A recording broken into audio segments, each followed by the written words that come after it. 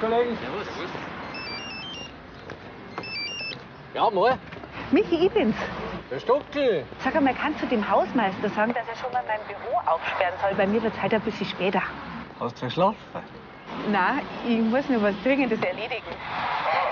Sag einfach, wenn jemand fragt, ich komm gleich. Ist schon recht. Äh, Aber Stockel, Nix, aber für die Servus bis später.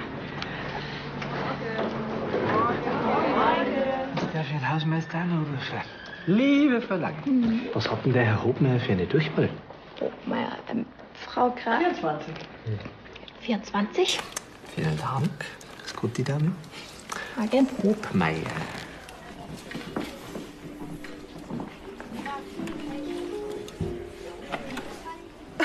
Das ist ja fast geschenkt.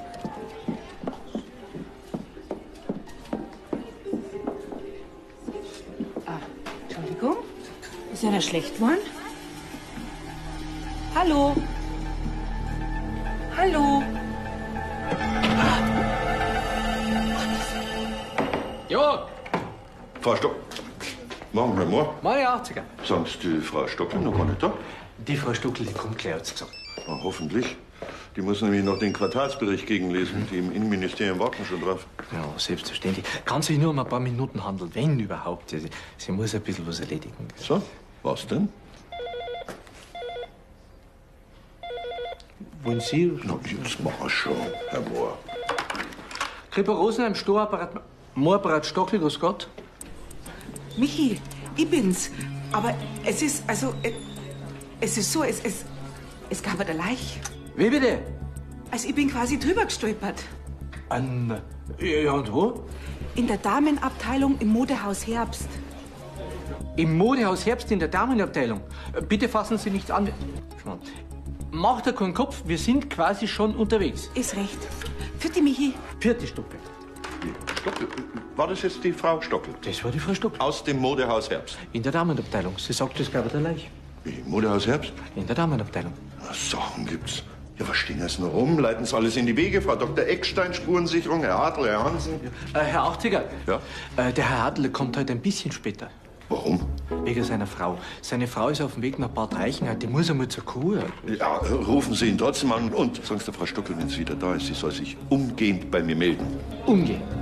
Einherzen, Damenabteilung. Ja, Ende, danke. Mitkommen, Hänse, bist du da? Heute. So eine Hektik. Ja, Herr Michi, was hätten Sie denn braucht? Ein Hartlet, die braucht. Da ist nämlich immer nur die Mailbox. Wir haben einen Fall. Sie, der bringt doch seine Frau ins Kurhotel. Das weiß ich schon. Ich habe nur gedacht, wenn er da gewesen wäre. Wenn er kommt, sagen Sie ihm bitte, er soll gleich bei mir anrufen. Mach ich, aber lang bin ich für eine Mal da. Ich habe einen Termin im Rathaus, gell? Also, Servus. Und Sie sind sicher, dass die Frau tot ist? Mir's, ich kenne mich damit aus. Wie furchtbar. Und ausgerechnet heute. Ja, der scheiß Sonderverkauf. Halt! Bloß nichts anfassen, dieser Tatort. Grüß euch, da drinnen liegt's. Guten Morgen, Frau Stockel. Guten Morgen, Frau Dr. Eckstein. Kreislauf stabil? Kreislauf stabil. Mei, wo bleibt er denn? Wo bleibt... Ja, ja!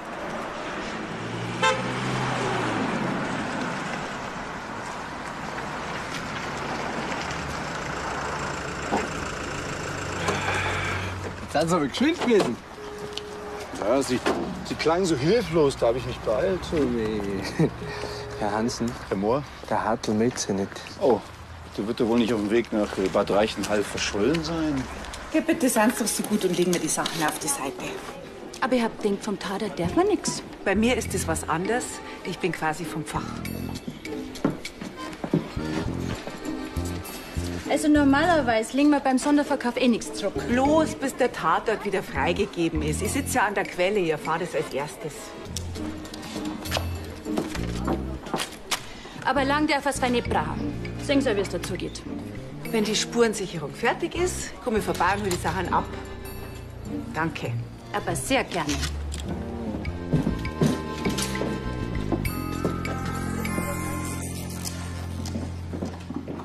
Das heizt ja endlich. Du darfst halt nicht immer leicht finden, wenn du was zum Erledigen hast. Ja, ausgesucht habe ich mir das nicht. Da geht's lang. Danke. Ah, Da hat jemand die Schlacht um das beste Schnäppchen ziemlich ernst genommen, was? Also ich bin ja selber fast tot umgefallen, wie ich das gesehen hab. Ähm, kommt Ihnen das Opfer denn bekannt vor? Ich hab mich so erschrocken, ich hab gar nicht gescheit geschaut. Das glaube ich. Gut, das war's erstmal, denke ich. Ja, und ich denke, ich fahr da mal ins Präsidium, die warten schon auf mich. In der 80er hätte ich eh schon braucht. Ah ja, stimmt, Quartalszahlen gegenlesen. Herein. Ah, Frau Ortmann. Entschuldigen Sie, Herr 80er, aber ähm, können Sie mich vielleicht aufklären, warum heute Morgen weder Frau Stockel noch die Kommissare anwesend sind? Ja, die sind in einer Mordermittlung unterwegs. Auch Frau Stockel. Kann man so sagen. Die hat nämlich die Leiche gefunden. Wie das? In einer Umkleidekabine vom Modehaus Herbst. Verstehe, der Sonderverkauf. Der Sonderverkauf. Schnäppchenjagd mit Leichenfund.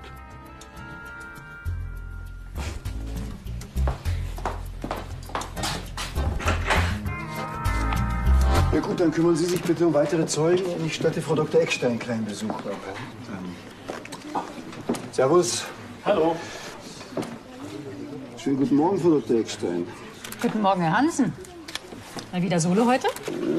Leider hat sich der Täter genau den Morgen ausgesucht, an dem Herr Hartl seine Frau zur Kur bringt. Mhm. Aber dafür ist ja Frau Stockel da. Wir sind eben ausgesprochen flexibel. Ja. Was haben wir denn da Schreckliches? Das Opfer wurde erschlagen. Bei der Tatwaffe muss es sich um einen kantigen Gegenstand handeln. Hier, sehen Sie? Nein, nein, nein, ich sehe es. Ähm, Andi, gibt's schon irgendwelche Hinweise zur Tatwaffe? Nee, haben wir noch nicht. Ähm, Tatzeit, Frau Doktor? Aufgrund der fortgeschrittenen Leichenstarre gehe ich von einem Zeitraum gestern Abend zwischen 21 und 22 Uhr aus. Aber genaueres nach der Obduktion. Nach der Obduktion. Sie sagen es. Du, Herr Hansen, Achim? die Taschen hat's dabei gehabt, die Tote. Laptop, Schminksachen, Schminksachen kannst du behalten. Geldbörse mit Ausweis, Ausweis, her damit. Schlüsselbund. Aber was abgeht, ist ein Handy. Oh. Äh, Dann versuch doch mal bitte die Handynummer rauszukriegen, weil. Dann können wir es über GPS orten. Ja. Und den Laptop bitte genau unter die Lupe nehmen, wegen. Wegen Hinweisen wird erledigt, Herr Hansen. Wem sage ich's? Herr Mohr, Hansen, Herr Mohr? äh, mit den Zeugen, da haben wir noch nichts Gescheites. Warum? Warum? Weil das Kaufhaus erst so spät aufgemacht hat. Melanie Herbst, Mitte 30. Wer ist jetzt die? Das ist die Tote. Also, oh, du war ja das die Tochter vom, vom, vom, vom Cheffoto. Jetzt geht's los.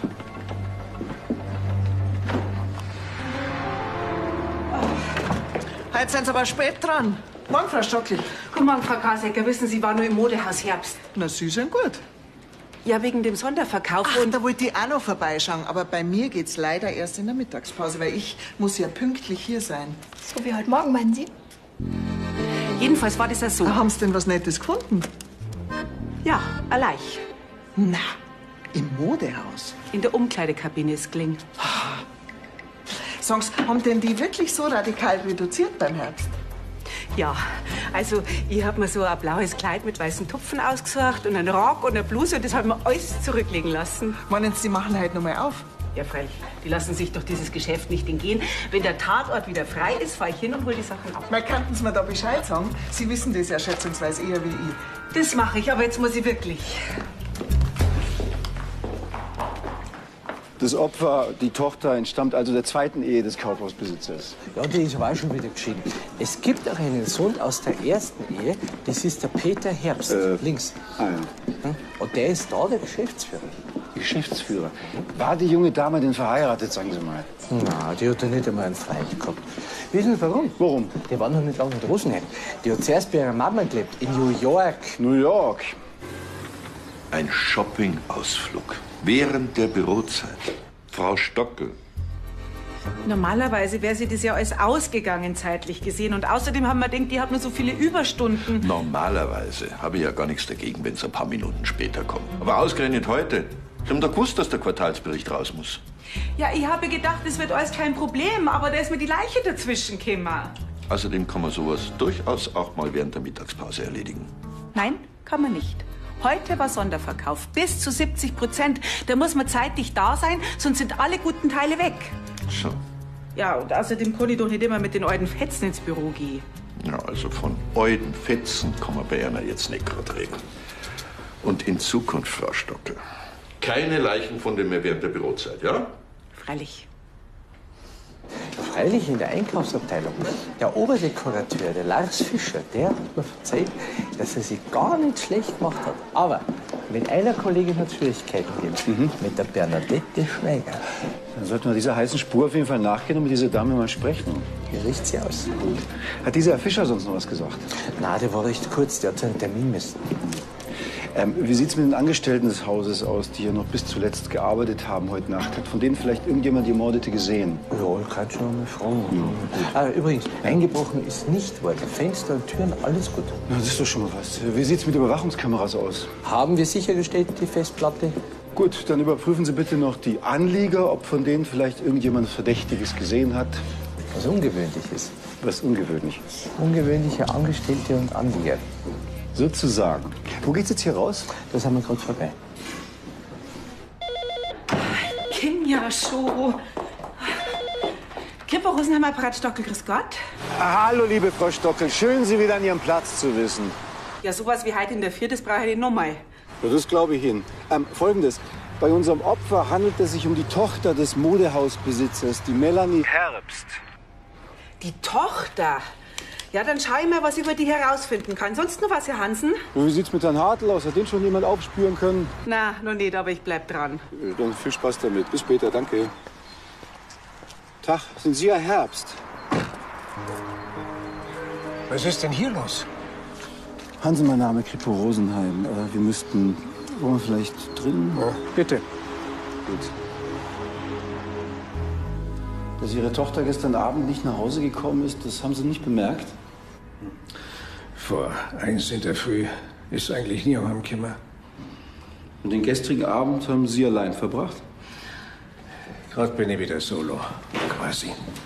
Das heißt, bis vor kurzem waren Sie noch liiert. Ich war mit einer Russin zusammen, Mascha Georgi. Aber unsere Temperamente sind doch zu unterschiedlich gewesen, sozusagen. Und Ihre Tochter haben Sie sich gut mit ihr verstanden? Obwohl wir mir fast keinen Kontakt gehabt haben, seit es damals mit ihrer Mutter, meiner zweiten Frau, nach USA gegangen ist. Ah, Früher ist mir das nicht so wichtig gewesen. Familie, Kinder. Aber im Alter. Darum habe ich mich auch gefreut, wo die Melanie vor vier Monaten zurückgekommen ist. Und seitdem hat sie hier im Modehaus mitgearbeitet, ja? Sie hat in Amerika drüben Modedesign studiert. Langfristig gesehen hätte sie ja eh zusammen mit meinem Sohn den Laden einmal übernehmen sollen. Mhm. Wie hat sich denn Ihr Sohn mit seiner Halbschwester verstanden? Der Peter und die Melanie, die haben sich super verstanden. Ist ihm nichts ausgemacht, dass sie jetzt auch an dem Geschäft hätte beteiligt werden sollen? Wie ich schon sagte, es ist schon lange im Raum gestanden. Fällt Ihnen jemand ein, mit dem Ihre Tochter in letzter Zeit Probleme oder Ärger gehabt hat? Melanie hat so eine Art gehabt. Keiner hat ihr böse sein können. Wir haben aber gehört, dass sie sich mit ihrer Kollegin in der Einkaufsabteilung nicht so gut verstanden haben soll. Das ist doch normal am Anfang. Die Bernadette Schweiger und meine Tochter, die hätten sich schon zusammengerafft. Gut, Herr Herbst, das ähm, war's dann eigentlich schon. Mein herzliches Beileid nochmal. Ne? Herr Hansen. Herr Mohr. Also, unsere ungewöhnlichen Angestellten wissen wie gewöhnlich wenig. Also, die Tote hat um 21 Uhr Feierabend gemacht, aber ob es gegangen ist, das weiß keiner. Das ist schlecht. Hm. Aber der alte Herbst, der hat so ein bisschen einen Überflieger gehabt. Ja, inwiefern? Ja, der Sportwagen, ein Tschika Tschika. Jetzt hat er gerade eine Russin. Ja, das mit der Russin ist schon wieder kalter Kaffee. Ach so. Hat er mir erzählt, ja. Ich würde vorschlagen, Sie fahren jetzt zu dem Haus, in dem die Verstorbene mit ihrem Vater gewohnt hat. Und ähm, quetschen mal ein bisschen die Nachbarn aus. Vielleicht kann von denen jemand bestätigen, dass der Herbst den ganzen Abend zu Hause war. Eine super Idee. Das freut mich. Ne? Ah. Herr Hartl! Guten Morgen! Hier oben! Was hast du denn da? Was hast du denn da? Guten Morgen. War heute schon ein reicher Heu. Doch nicht verschollen. Und hergefunden, oder? Schön, Sie zu sehen, Herr Kollege, und so unverhofft. Was heißt da unverhofft? Was kann ich dafür, wenn die Leiche ausgerechnet heute auftaucht, wo ich meine Frau auf Kur bringe? Herr Hansen, äh, der Peter Herbst, der, der Junge, der, der, der, der den Büro warten. Gut, ja? Und diese Obereinkäuferin, die Bernadette Schweiger, die da auch schon war. Okay. Was? Wer? Äh, Herr Hagel, kommen Sie doch einfach hoch, dann brauche ich nicht so runterbrüllen. Dann erzähle ich ein bisschen was über den Fall und teilen wir uns schön auf. hm? Zeigen Sie ihm doch die Treppe. Ja. Ja. Hallo, Frau Stuckel. Sagen Sie, darf ich Ihnen was von Herrn 80er da lassen? Der ist nämlich nicht in seinem Büro und mir pressiert ein bisschen. Selbstverständlich. Das ist das Programm für das Kammerkonzert übernächste Woche. Er wollte noch einmal drüber schauen. Liegst am Glauben Schreibtisch. Super, dann packe ich es ja wieder. Ich muss nämlich vor der Stadtratssitzung unbedingt nur schnell auf ein Sprüngerl im Modehaus Herbst vorbeischauen. Wissen Sie schon, wegen dem Sonderverkauf. Schnäppchen. Frau Hofer, ich glaube, da brauchen Sie noch gar nicht zu beeilen. Wieso? Die Damenabteilung wird noch geschlossen sein. Die Tochter vom alten Herbst ist tot in der Umkleidekabine gelegen, ermordet. Na. Doch. Und jetzt raten Sie mal, wer die Leiche gefunden hat. Na. Doch. Wie war denn Ihr Verhältnis zu Ihrer Halbschwester, Herr Herbst? Mei, gut. Gab es da keine Kompetenzüberschneidung? Bin ja mehr so für das im Hintergrund zuständig. Logistik, Buchhaltung, Organisation. Mein Vater hat mit der Melanie zusammen das Modehaus nach außen vertreten. Also PR, Modemessen, Einkauf und das alles. Wollte Ihr Vater sich nicht langsam aus dem Geschäft zurückziehen? Ja, er wollte die Leitung an mich und die Melanie übertragen. Also 50-50 quasi. Das ist jetzt natürlich ein schwerer Schlag für ihn. Es ist zu Ohren gekommen, dass Ihr Vater in letzter Zeit so eine Art äh, ja, zweiten Frühling durchlebt hat, inklusive junger Freundin. Ja, mein Vater hat ständig irgendwelche Affären gehabt. Das letzte da mit ihrer Russin, das ist nichts Ernstes gewesen. Mhm. Mit Ihrer Kollegin aus dem Einkauf, der Frau Schweiger, soll sich ja Ihre Halbschwester nicht so gut vertragen haben. Mai vorher ist die Schweiger halt allein für den Einkauf zuständig gewesen. Dass da auf einmal die Melanie mitgemischt hat, das hat dir wohl nicht ganz so taugt. Fällt Ihnen sonst jemand ein, mit dem Ihre Schwester ein Problem gehabt hat? Na? Wo waren Sie denn gestern Abend zwischen, sagen wir mal, 21 und 22 Uhr? Ich hoffe, das ist jetzt reine Routine. Ist es, ja. Ist es. Allein zu Hause. Keine Zeugen. Meine Freundin ist gerade bei ihrer Mutter in Tirschenreuth. Leider. Ja gut, danke, Herr Herbst. Das war's erstmal. Mein herzliches Beileid nochmal. Und äh, falls wir noch Fragen haben sollten, halten Sie sich bitte zur Verfügung. Hab nicht vor, in nächster Zeit der Weltreise anzutreten. Schön. Also wenn ich Sie recht verstehe, dann waren Sie mit der Arbeit von der verstorbenen Frau Herbst nicht wirklich einverstanden. Ein verzogenes Ding ist gewesen. So schaut's aus. Wenn Ihr Vater nicht der Chef gewesen war, kein Mensch hätte die eingestellt. So. Die Madame hat ja lieber alle Männer von der Belegschaft den Kopf verdreht. Okay. Anstatt zu arbeiten. Hm. Hat's da eine konkrete Liebelei ergeben? Also so wie die Melanie um den Lars Fischer, unseren Chefdekorateur, miteinander geschwanzelt ist. Da traue ich mich wetten, dass die was gehabt hat mit dem. Das klingt, wie wenn Sie einen rechten Zorn auf Sie gehabt hätten. Das können sie laut sagen. So. Ja, das, deswegen habe ich es aber nur lange nicht umgebracht, wenn es das ist, was Sie meinen. Der alte Herbst, hat er das mitgekriegt, was seine Tochter da drüben hat? Das war ja das Einzige, was die Kinder hat. Den Vater am Finger wickeln. Der Herbst Junior, der Herr Geschäftsführer, was hat denn der dazu gesagt, was seine Schwester gemacht hat? Mei, der ist ja auch nicht angekommen gegen die. Und Sie? Wo waren Sie gestern auf die Nacht zwischen 9 und 10? Ich glaube, ich bin auf dem Heimweg gewesen. Vom Heimweg? Ja. Kann das wer bezeugen? Na, Hm. Gut, dann war's das fürs Erste. Kann gut sein, dass wir auf Sie noch mal zurückkommen, gell? Sie wissen ja, wo Sie mich finden. Ich tue meine Arbeit. Ja, für gut. Für Gott. Und? Unsere Bernadette Schweiger hat gemeint, dass das Opfer was mit dem Chefdekorateur gehabt hat. Fischer Lars. Ah, dann sollte man mal checken, ob da was dran ist. Aber vielleicht hat es bloß geschmerzt. Ja, was? Sie war recht zuntig. Sie war was? Aufgebracht was. Das ist die Frage, ob sie auch zuntig genug war, um ihre unliebsame Kollegin aus dem Weg zu räumen. Alibi hat sie jedenfalls gekannt. Dieser, dieser Peter Herbst, der hat den Tod seiner Halbschwester ziemlich locker weggesteckt. Hm? Vielleicht war es ihm ja doch nicht so angenehm, dass er sich das Geschäft jetzt mit der Schwester teilen musste. Haben Sie nicht gemeint, der hätte Alibi? Nee, nee, bisher hat niemand ein Alibi. Weder der Vater noch der Halbbruder noch ihre Frau Schweiger. Meine Frau Schweiger. Das ist eine Rennerei. Wem sagst du das? Ah. Herr Hansen, was hätten Sie denn braucht? Hallo, liebe Frau Stockel. Ähm, schauen Sie doch mal zu, was Sie alles über die Chefeinkäuferin des Modehauses rausfinden können. Eine Frau Bernadette Schweiger. Ja, Bernadette Schweiger, die Verkäuferin. Ja, mache ich. Äh, Herr, Herr Hansen, der, Mich, äh, der, der Herr Mohr möchte Sie noch gerne sprechen. Herr Hansen. Was gibt's, Herr Mohr? Folgendes. Es schaut so aus, als wenn der alte Herr Herbst die ganze Nacht daheim gewesen ist. Warum? Einer von den Nachbarn hat gesagt, dass um 12 Uhr noch das Licht gebrannt hat. Um eins auch noch. Aha, na gut, Licht an ist noch lange kein stichhaltiges Alibi. Befragen Sie doch mal bitte die Nachbarn, ob ihn jemand wirklich gesehen hat. Ja, ist recht, danke, Ende. Halt, Herr Mohr. Ja. Das Handy der Toten, ist das schon aufgetaucht? Äh, die letzte Einbuchung, die haben wir. Es war zum Schluss eingeloggt in der Wagnerstraße. Wagnerstraße. Besteht da irgendein Zusammenhang mit unserem Opfer? Bis jetzt noch nicht. Aha, gut. Ähm, dieser Lars Fischer, der Chefdekorateur hier, den bräuchten wir auf dem Präsidium.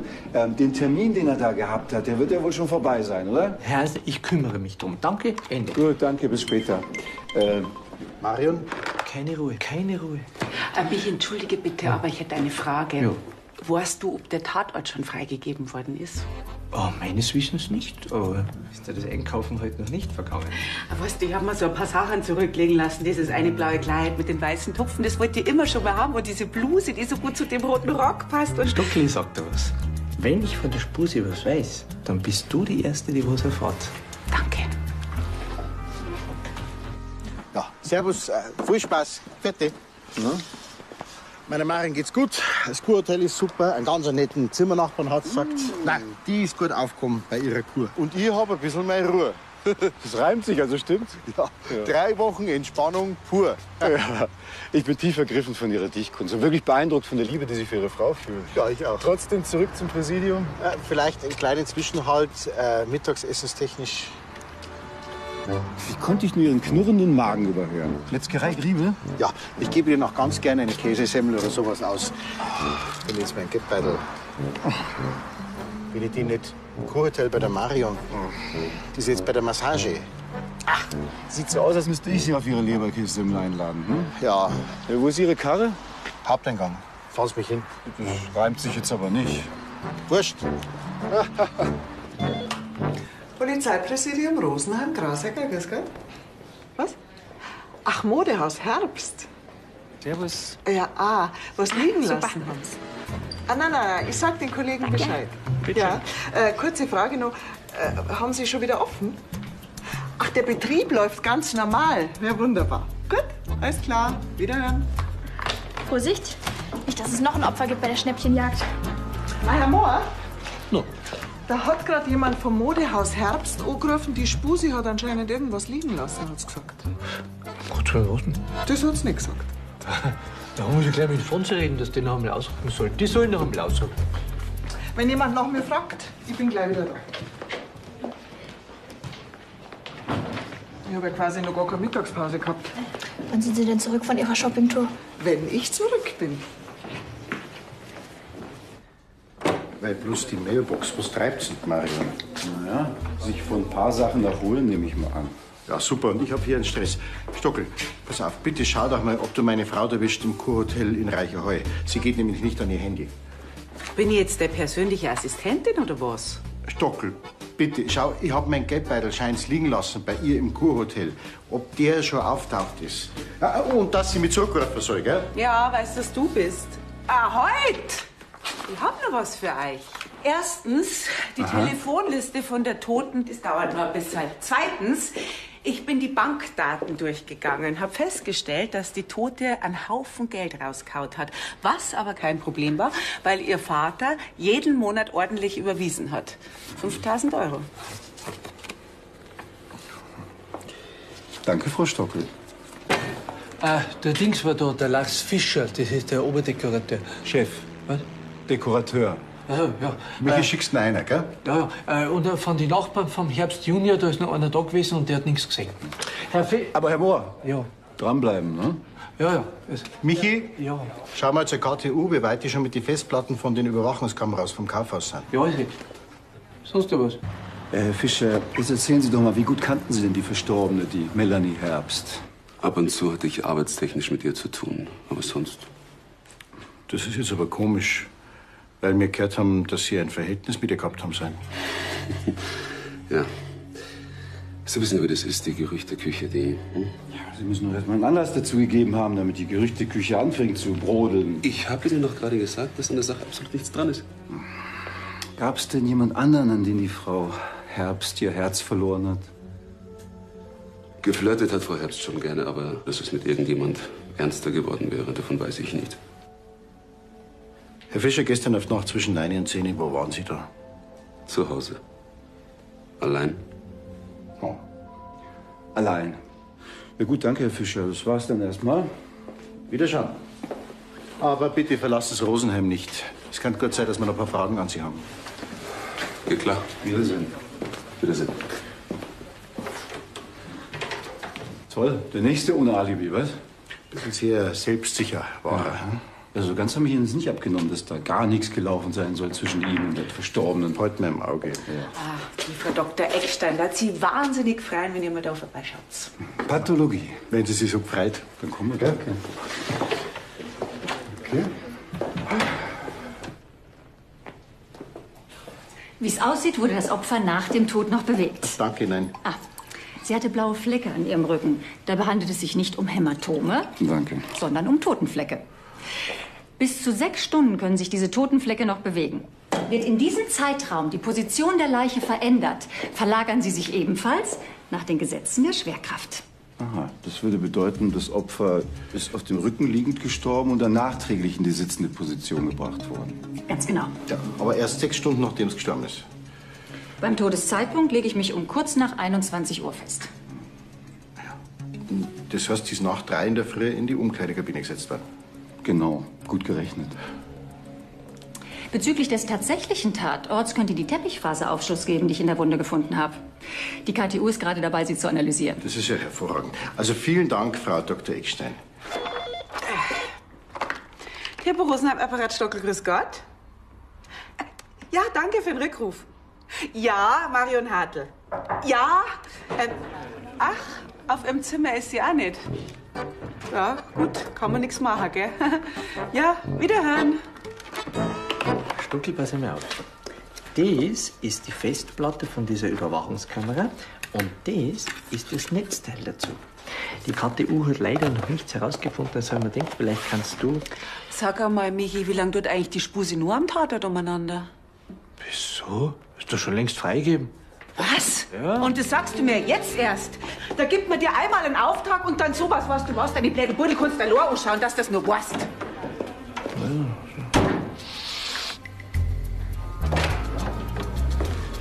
Hallo, Herr Mohr. Ja, machen Sie sich doch gemütlich. Ich hoffe, wir stören nicht. Soll ich einen Kaffee bringen? Wissen Sie, was ich da alles anschauen muss? Sagen Sie es mir. Wissen Sie, wie viele Kameras einen aufnehmen in so einem Modehaus? Von drinnen, von draußen, von hinten, von unten. Ist schon recht, Michi. Mit Milch, ohne Zucker. War auf einer von den vielen Kameras auch was drauf? Äh, es ist ja so, die Kameras draußen waren die ganze Nacht an. Um 9 Uhr ist der letzte Angestellte gegangen und bis 8 Uhr in der Früh ist niemand hinaus und niemand hinein. Aha, was ist mit den Kameras im Modehaus? Habe ich noch nicht alles angeschaut. Aber etwas ist sehr interessant. Die schalten sich automatisch aus zwischen 3 Uhr und 6 Uhr in der Früh. Es sei denn, sie bekommen einen Impuls von den Kameras draußen. Aha, deswegen hat der Täter die Leiche woanders hingeschleppt. Ja, der hat gewartet, bis drin die Kameras ausgegangen sind und dann hat er sie in die Umkleidekabine gesetzt. Das würde aber bedeuten, dass das Opfer das Modehaus nicht lebend verlassen hat. Bitte. Danke. Ähm, das heißt, sie ist im Haus kurz nach Dienstschluss ermordet worden. Dann war es entweder ein Angestellter oder ein Kunde, der sie hat einsperren lassen. Ja, wohl eher ein Angestellter. Ein Kunde kennt sich ja mit dem Kamerasystem nicht aus. Ähm, Herr Mohr, überprüfen Sie doch bitte noch mal ganz genau, ob wirklich alle Angestellten gegangen sind. Klaus recht. Äh, Michi, was sagt denn KTU zum Laptop von unserer Toten? Festplatte vollkommen gelöscht. Also eigentlich nicht gelöscht, sondern überschrieben mit einer neuen Software. Das ist ein Hund, unser Mörder. Ja? Ah, hier sind wir. Ah, ich soll es hier abgeben. Danke dir. Bitte. Aha. Die Buchungsunterlagen von unserem Modehaus Herbst. Das ist jetzt Ihr Bier. Schmeckt der Kaffee? Ja. Schön.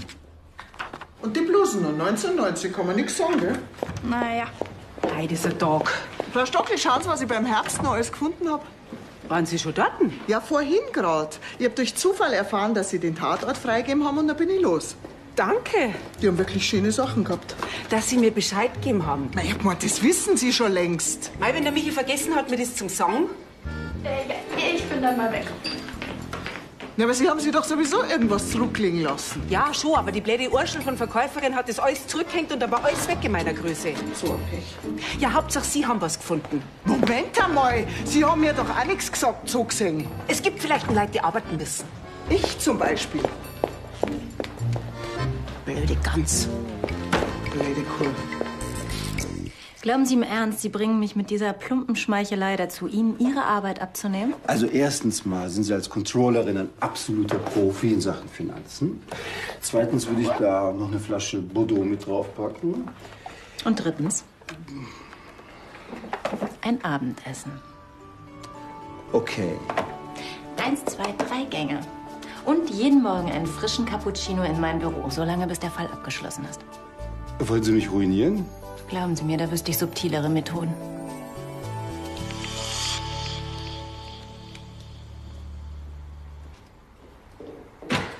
Du passt mir nicht mehr, oder? Na, Wer redet denn mit dir? was bitten Sie zuntig? Äh, halt, Stockel, äh, ganz kurz. Hast du die Unterlagen vom Opfer, die, die, äh, Herrgott. Telefonliste. Ja. Nein, habe ich nicht. Die dauert noch bis morgen. ja. Und Stockel, äh, hast du was rausgekriegt über die äh, Schweiger, die. Ach so, also diese Chefeinkäuferin vom Mode aus Herbst. Nein, nix. Also sie ist nicht aktenkundig, hat nur ein paar Punkte wegen zu schnellen Fahrens, aber ansonsten. Ja, äh, und Stockel, Stockel, äh, hast du meine Frau erreicht? Die war nicht auf ihrem Zimmer und ich pack's jetzt. Bitte. Vierte. Bitte. Ja, wenn das so ist, würde ich sagen, machen wir jetzt auch Feierabend. Ich tu noch ein bisschen Fernsehen. Mach das. Mei, das trifft sie ja ganz gut. Ja, danke, gell? Servus, Bussi. Und? Ist der Geldbeutel wieder auftaucht? Ja, stell dir vor, bei der Marin am Nachtkastel habe ich den liegen lassen. Ah, Gott sei Dank. Aber das Beste, einer von den Angestellten, der fährt morgen nach Rosenheim zu seiner Tante. Und der bringt man vorbei. Der Innsbruck. Mhm, das Glück gehabt, dass meine Stadtratssitzung abgesagt worden ist. Ah, verzeih. Gefällt's noch Marion auf der Kur? Ja, ganz gut, der taugt's. Aber mir geht's ja auch nicht schlecht. Ja. Fangen wir an. Ja.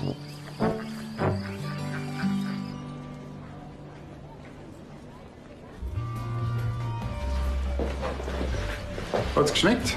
Ausgezeichnet. War ja auch das Exklusivste auf der Karte. Qualität hat eben ihren Preis. Eben. Darf es vielleicht noch Dessert sein? Ich hätte eine Schokomousse mit frischen Himbeeren. Ein Traum. Danke. Kommen Sie, drei Gänge waren doch ausgemacht. Zu meinem großen Bedauern bin ich leider bereits satt. Dann vielleicht noch ein Espresso. Lieber die Rechnung. Geht es zusammen oder getrennt? Der Herz halt. Ja, danach geht's bestimmt noch woanders hin, oder? Also ich nicht. Auf mich warten nämlich morgen sehr früh ganz spezielle Akten. Hm. Ich zahle, sie arbeitet. Verstehst du, amigo? Nein, ich bin aber auch kein Kriminaler nicht. Hm, Zum Glück. Cheers. Cheers.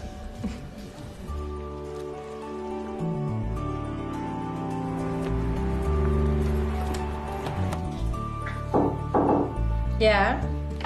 Guten Morgen, Hansens kleiner Lieferservice.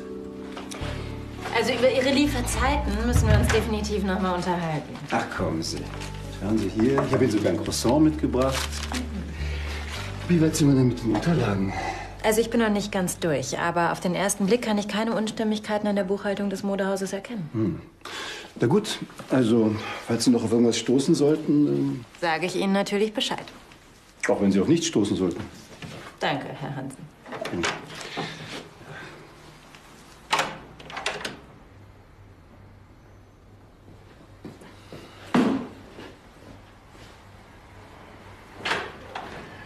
Moin, moin, Kollegen. Moin. Ja. Herr Mohr, haben Sie die ganze Nacht vor den Aufnahmen verbracht? Nein. Wir haben nur dieselbe Uniform an. Ja. Herr Hansen. Herr Mohr? Habe schon viereckerte Augen? Ich wollte gerade sagen. Echt? Ja? Oh ja. Hm. Ist Ihnen inzwischen irgendwas aufgefallen? Ja, freilich. Gestern um neun am Abend ist ein ganzer Schwung von Angestellten ist aus dem Modehaus hinaus. Aha, und? Ja, nix und. Da waren viel zu viele Leute. Du weißt ja nicht, wer es wäre, wer mit wem ist. Michi, kannst du jetzt ausschließen, dass sich jemand versteckt und übernachtet hat im Modehaus? Nein, das kann ich nicht ausschließen. Aber ich kann ausschließen, dass auf die Kameras was drauf ist. Drinnen nicht und draußen nicht. Aha. Mein Herr, ich habe auch noch was rausgefunden. Und zwar, wo das Handy eingebucht war. Was für Handy? Ja, von der Toten. Und wo? Ja, ich habe die Adresse. Von wem? Vom Lars Fischer. Also gut, ja. Das Handy liegt bei mir zu Hause. Kaputt. Also gut, ja, dann noch einmal von vorn. Melanie und ich, wir hatten da was am Laufen. Aber seit einer Woche ist mir klar, dass das Ganze ein Fehler war. Ich hätte mich gar nicht darauf einlassen sollen. Ich hab Schluss gemacht. Wie hat die Frau Herbst darauf reagiert? Hm. Melanie ist total ausgeflippt. Und vorgestern in der Früh ist sie dann bei mir zu Hause auf der Matte gestanden. Und dann? Nichts dann. Sie hat sich ausgetobt, hat sogar mit ihrer Handtasche nach mir geschlagen und da muss ihr wohl das Handy rausgefallen sein. Jedenfalls habe ich es dann kurz drauf neben der Eingangstür gefunden. Aha. Ja, warum haben Sie das nicht alles schon gestern erzählt? Weil ich mit dem Tod von Melanie nichts zu tun habe. Und. Sorry. Und weil, weil ich dachte, wenn ich nichts sage, dann. Ja. Dann. Sie dürfen jetzt gehen, Herr Fischer, aber Sie halten sich zu unserer Verfügung.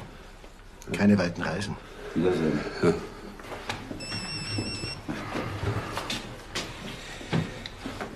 Frau Stockel, was gibt's? Herr 80er will uns sehen. Also Sie auch, oder wie? Aha. Gut, dann bis gleich. Der Herr 80er will Sie sehen? Sie auch, Kollege. An den vorliegenden Beweismitteln, deretwegen die Spurensicherung erneut zu einem bereits freiggegebenen Tatort ausrücken musste, befinden sich keinerlei tatrelevante Spuren. Also weder an diesem blauen Kleid mit weißen Punkten, noch an diesem entzückenden weißen Blüschen, noch an den anderen Sachen. So, jetzt bin ich mal gespannt auf Ihre Erklärungen, meine Herrschaften. Ja, also, es war so. Nein, die vom Kaufhaus Herbst, die haben halt geglaubt, dass von der Spuse was liegen geblieben ist. Und da habe ich mir gedacht, Und Sie, meine Herren, haben diesen zusätzlichen Einsatz abgesegnet. Natürlich. Ja, weil wir haben, hätte wichtig sein können, gell? Mhm.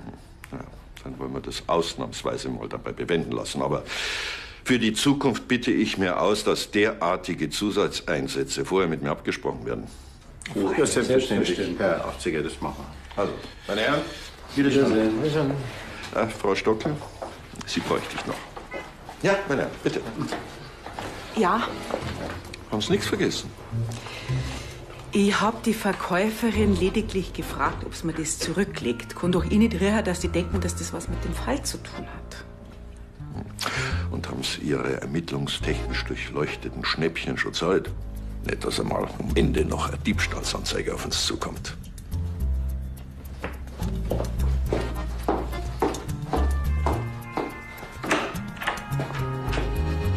Hab ich ein Massel? Herein.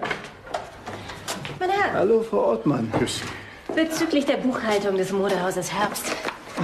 Auf den ersten Blick sind die Bücher zwar in Ordnung, aber es wurde vor einigen Monaten Geld in größerem Stil abgezweigt, das dann vor kurzem wieder zurückgebucht wurde. Ich habe Ihnen die betreffende Stelle markiert. Sieh mal einer an. Vielen Dank, Frau Ortmann. Danke. Jetzt weiß ich, was mir aufgefallen ist. Der Peter Herbst hat am Tag vor der Tat genau dasselbe angehabt wie am Tag danach. Das Hemd, altdeutsch Ziklame. Das heißt, er hat im Geschäft übernachtet. Sehr gut, Michi. Ja, großes Lob. Tja, Herr Herbst, also aus diesen Bankunterlagen hier geht hervor, dass Sie erst kürzlich eine größere Summe vom Geschäftskonto abgezweigt und dann auf ein Konto in die Schweiz transferiert haben. Aber dann haben Sie es auf einmal wieder zurückgebucht. Haben Sie da ein schlechtes Gewissen gekriegt, oder? Bis mein Anwalt eingetroffen ist, werde ich dazu nichts weiter sagen. Ah, gut, dann reden halt wieder weiter. Ich glaube, es war so. Seine Halbschwester ist ihm mit der Unterschlagung draufgekommen. Bitte, was hat das mit Unterschlagung zu tun? Dann lassen wir die Unterschlagung weg. Aber KTU hat ja eindeutig nachgewiesen, dass die Teppichfaser, die wir in der Wunde seiner toten Halbschwester gefunden haben, eindeutig aus seinem Büro stammt. Das heißt, er hat sie dort umgebracht und später erst in die Umkleidekabine geschafft. Ja, allerdings hat er warten müssen, bis sich die Überwachungskameras ausgeschaltet haben. Das heißt, er hat im Geschäft praktisch übernachtet. Aber in der Früh haben wir ihn wieder mit seinen nicht gewechselten Klamotten auf Video. Bin ich gespannt, wie sein Anwalt ihn da rausboxen will. Hm, Und ich erst.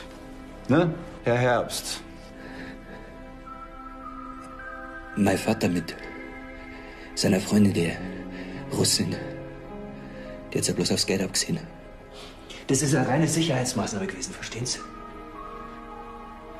Keine Unterschlagung. Wie?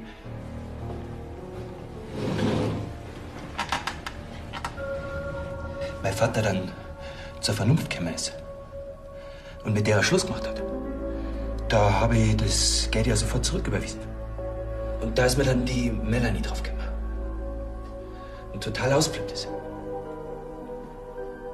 Obwohl ich das ja auch für sie gemacht habe. Das ist ja auch ihr Erbe. Sie ist auf mich losgegangen und ich hab mich nur gewehrt. Und dabei ist mit der Schläfe saublöd gegen die Tischkante gefallen. Ja. Also, Herr Herbst, wenn das so ist, dann sind Sie vorläufig festgenommen. Wegen des dringenden Tatverdachts, Melanie Herbst getötet zu haben. Christian. Herr Herbst, kommen Sie bitte mit.